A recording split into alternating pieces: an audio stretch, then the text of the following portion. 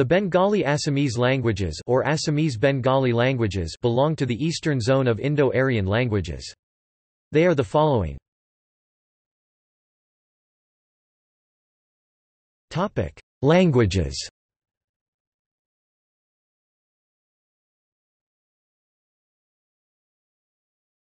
Topic: Language comparison chart. equals equals equals verbs